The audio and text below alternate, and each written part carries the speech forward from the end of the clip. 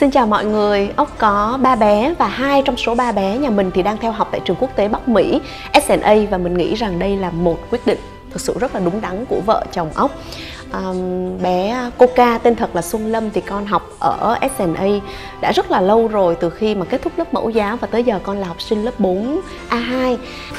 This is my class and my friend. Đây là bạn của con và lớp của con. Hello. Hello tên thật là Linh Đan hiện đang là học sinh lớp 2A2 và con theo học tại SNA từ khi con mới 4 tuổi mấy thôi. Còn um, Cacao À, ờ, tên thật là Vinh Hy thì tháng 9 năm nay sẽ chính thức vào trường để học chung với anh chị và đây là một điều mà con đã chờ đợi từ rất lâu. Tại sao mình lại nói đây là một trong những quyết định đúng đắn nhất là bởi vì mình thấy một sự thay đổi rất là lớn của các con mình khi theo học tại SNA và ốc cảm thấy rất là hạnh phúc khi mỗi ngày vợ chồng mình được ờ, đưa và đón các con tại ngôi trường này. Hi everyone, I was absent all the winter and I'm very excited to go to school. When I go to school, I need to have the student card. And today we have a new student, it's my mommy. Con vừa nghỉ một kỳ nghỉ đông và con rất là mong chờ đến ngày con có thể vào trường lại và để vào trường thì con có, có cần có một cái thẻ để vào và hôm nay có một học sinh mới là mẹ của con đây là thẻ của tụi con đúng không? Thẻ rất là dễ thương nè có hình hai anh em nè. Rồi bây giờ cho mami được vô học chung với tụi con bữa nay nha. Thực sự là mỗi ngày đến trường đều là một niềm vui rất là lớn và các con có thể kể say sưa với ba mẹ về những gì mà các con trải qua tại trường. À, sẽ không quá uh, ngạc nhiên hay là um, gọi là sững sờ khi nghe các con nói về những điều các con được học đâu. Thực sự là với những bạn nhỏ ở tuổi này um, mình nghĩ rằng nhỏ xíu à. Thế nhưng mà cái kiến thức của các con phải nói là rất là lớn luôn. À, tụi nhỏ có thể nói với mẹ về um, sự à, biến đổi của khí hậu việc uh, trái đất nóng dần lên những vụ cháy rừng à, rất là lớn ảnh hưởng thiệt hại ra sao đến môi trường trái đất về sinh vật biển về rác thải nhựa hay là giờ trái đất vân vân. Những cái chủ đề đó thực sự là đối với những bạn nhỏ, nhà ốc nó đã trở thành một điều rất là bình thường bởi vì ngày nào các con cũng được nghe, các con cũng được học nên các con hiểu và thấm vô cùng và các con có một cái ý thức rất là lớn trong việc bảo vệ chính nơi mà các con đang sinh sống và thường hay nói và nhắc nhở những người xung quanh về điều này ốc nghĩ cái công rất là lớn, chính là nhờ sự dạy dỗ của các thầy cô và những cái bài học rất là sống động và trực quan mà các con được tham gia And days of the week. What do we start with? Which day will we start with? Will we start with Saturday? Monday. Monday. Good.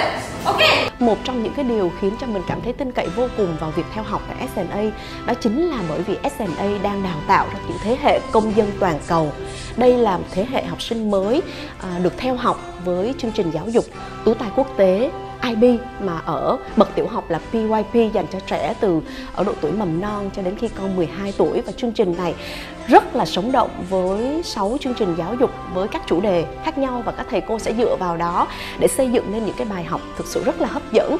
Um, uh, mình có tìm hiểu thì mình biết rằng là hiện tại thì có khoảng ờ, uh, 4.000 ngôi trường tại 157 quốc gia trên toàn thế giới đang đào tạo học sinh theo chương trình của tài quốc tế ờ, IB và SNA là một trong số đó. Tại vì những ngôi trường Việt Nam theo uh, theo phương pháp này, theo chương trình này thực sự là rất là ít. Nên đó cũng là một điều mà mình rất là tự hào. Và để mà có thể tạo ra được một thế hệ công dân toàn cầu theo đúng chuẩn của chương trình tú tài quốc tế IB thì SNA đã phải thiết lập xây dựng một nơi mà cơ sở vật chất và mọi thứ đều được đảm bảo điều kiện tốt nhất. Rồi việc mà xét từ đầu vào cho đến chương trình giảng dạy cho đến những cái bài luận mà các con sẽ phải trải qua thực sự rất rất là khắc khe thì các con mới được uh, công nhận là những học sinh được uh, giảng dạy theo chương trình này. Ờ, vì vậy cái sự tiến bộ và nỗ lực của các con phải nói là ở mức độ rất là lớn. Có nhiều uh, bạn bè của ốc có hỏi rằng á trời ơi, các con có vẻ học nhiều quá vậy. Cái gì mà ngày nào cũng học như vậy và nếu mà học chương trình quốc tế, tại sao lại về trễ như vậy? Thì mình có nói rằng là không sao. Tại vì không có ngày nào mình đến trường đón các con mà các con nói rằng là mẹ ơi, con mệt lắm. Lúc nào đến trường đón các con cũng sẽ là câu nói, mami ơi, chờ con chút xíu, con muốn ở lại trường thêm một chút, con muốn được chơi thêm. Tức là các bạn nhỏ rất là tận hưởng mọi thời gian mà các con có tại ngôi trường này, bởi vì sau giờ học sẽ là giờ được hoạt động ngoại khóa. Một điều mà mình thấy rất là khác của các con mình khi mà bắt đầu theo học ừ, chương trình này. Đó chính là đầu tiên là về ngôn ngữ. À, bởi vì chúng ta là người Việt Nam cho nên chắc chắn là các bạn nhỏ phải nói tốt tiếng Việt rồi. Tuy nhiên là tiếng Việt của mình rất là đa dạng, phong phú và rất là hay. Cho nên là để hiểu sâu về tiếng Việt không phải là điều đơn giản. Nhưng các con nhà ốc thì có thể hiểu Ờ, rất là nhiều về thành ngữ, về ca dao, tục ngữ, về nghĩa đen, nghĩa bóng và hiểu và yêu tiếng mẹ đẻ vô cùng luôn. Thì mình nghĩ điều này là nhờ sự ờ, dạy dỗ của các thầy cô và cũng là nhờ sự phối hợp của gia đình nữa bên cạnh đó thì uh, việc học ngôn ngữ thứ hai là tiếng Anh chắc chắn là một điều tối quan trọng đối với các bạn nhỏ đang theo học tại các ngôi trường quốc tế. Nhưng mà với các bạn nhà ốc thì um, bây giờ thì tiếng Anh đã trở thành một điều quá là thân thuộc rồi. Các con không phải gọi là suy nghĩ quá nhiều khi mà sử dụng tiếng Anh nữa bởi vì mọi thứ nó rất là thoải mái và tự nhiên. Và thường là các con sẽ nói tiếng Anh trước rồi sau đó mới dịch sang tiếng Việt. Hi, today I'm on my library and or one week I will have one time like that and my teacher will read for me and after that I will choose the book and I go to check in and I can bring to my house or bring to class to read on a small time in class. Chào các bạn, mình đang ở thư viện của mình và cứ mỗi tuần sẽ có một tiết như vậy. Mình sẽ đầu tiên mình sẽ vào thư viện và cô của mình sẽ đọc cho mình một quyển sách sau đó mình sẽ đi lựa sách ở những hàng sách này và mình sẽ check in mình có thể đem về nhà hoặc là đem vô lớp để những cái giờ đọc nho nhỏ mình có thể đọc được This is my locker and this is my class. Now I will come here to check homework with Miss Fountain. and next And next I will learn with Miss Freya. Ok. Và vì đã có hai ngôn ngữ như vậy rồi cho nên là việc bắt đầu một ngôn ngữ thứ ba cũng không phải là một điều um, còn lâu nữa mới thực hiện mà. Nhà ốc thì đã làm việc này từ rất lâu rồi. Từ cách đây một năm rưỡi thì các bạn nhỏ đã học thêm tiếng Hàn Quốc và hiện tại thì cũng đã nghe nói và đọc viết tiếng Hàn cũng khá là ổn rồi. Và à, trong trường SNA thì cũng có một số bạn học sinh Hàn Quốc nữa. Đó là lý do tại sao mà khi phụ huynh nhận được mail á thì mình thường thấy là sẽ có ba ngôn ngữ là tiếng Anh, tiếng Việt và tiếng Hàn um, một cái lời cảm ơn mà ốc phải dành cho đội ngũ giáo viên tại trường. Bởi vì chúng ta đã có một năm 2020 rất là đáng nhớ. Một mùa dịch ảm đạm và kéo dài. Thế nhưng may mắn làm sao khi việc học tập vẫn được tiến triển một cách tốt đẹp và không có bỏ bê một ngày nào cả. Ông nghĩ rằng là nếu chỉ có một mình mình thì không thể làm nổi điều đó. Sự nỗ lực quá lớn của các thầy cô các thầy cô đôi khi kiểu mà cứ nhắc phụ huynh liên tục á làm cho mình còn cảm thấy chết rồi mình ngại quá. Mình có những cái ngày mình phải đi làm á mình không có đảm đương hết được. Thì ốc cũng có nói với lại ờ, những thầy cô giáo chủ nhiệm của các con là chắc cố gắng làm sao để hỗ trợ cho gia đình là bởi vì do là ba mẹ vẫn phải đi làm chỉ có các bạn nhỏ là ở nhà thôi. Thì thầy cô rất là hiểu và hỗ trợ. Thì um, lúc đầu thì hơi có một chút khó khăn một chút bởi vì là do học online từ xa nhưng mà sau đó thì mọi việc cũng ổn.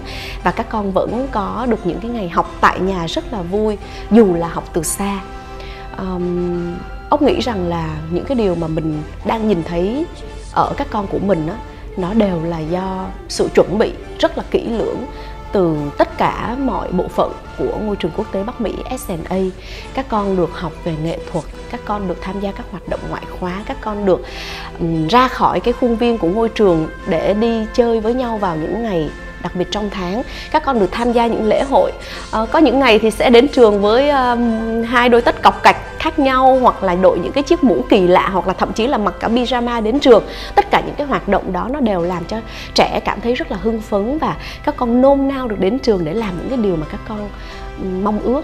À, hay là đơn cử là một cái mái tóc khác biệt của một bạn nào đó trong lớp cũng sẽ không bao giờ khiến cho các bạn khác cười cợt là bởi vì uh, các bạn nhỏ được dạy về chuyện tôn trọng sở thích cá nhân và cái điều quan trọng nhất là sự lĩnh hội những kiến thức thì điều này nó được thể hiện rất là rõ đối với các bé nhà ốc khi học tại SNA um, ốc nghĩ rằng là việc học tập là một cái việc đòi hỏi nỗ lực và cố gắng không ngừng nghỉ và nó là một cái hành trình rất là dài.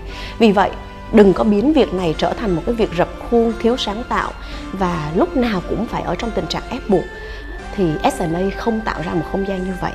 Điều SNA mong muốn đó là các bạn nhỏ đến trường với tâm thế sẵn sàng nhất, sẵn sàng đón nhận mọi kiến thức, sẵn sàng đón nhận mọi sự thay đổi và thích nghi để trở thành những công dân toàn cầu. Và là một phụ huynh thì ốc rất là mong các con mình sẽ tiếp tục được học tập trong một môi trường tuyệt vời đến như vậy. Mẹ mong là học kỳ 2 này các con sẽ cố gắng hơn để có kết quả tốt hơn và mẹ cũng rất là tự hào vào kết quả học kỳ 1 của hai bạn à, cô Ca và cô La. Cô Ca thì được 99, thì cô La thì giỏi hơn anh hai chút xíu được 10 10 cho nên là mẹ rất là vui về điều đó và cũng mong rằng là sắp tới ca cao vào trường thì con cũng sẽ tận hưởng mọi điều tại ngôi trường này. Và một lời chúc dành cho các bạn học sinh tại ngôi trường này, cô ốc mong rằng là các con sẽ có những ngày thật là vui và sẵn sàng để trở thành những công dân toàn cầu cùng với SNA một lần nữa xin được gửi lời cảm ơn rất là lớn đến SNA trường quốc tế Bắc Mỹ. As